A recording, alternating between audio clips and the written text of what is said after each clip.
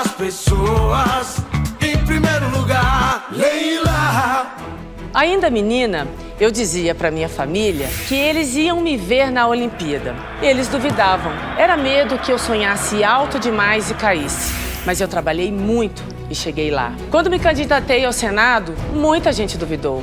Mas também cheguei lá, com o apoio dos brasileiros. Aprovei várias leis importantes pelo país e pelas mulheres. Leis que salvaram vidas.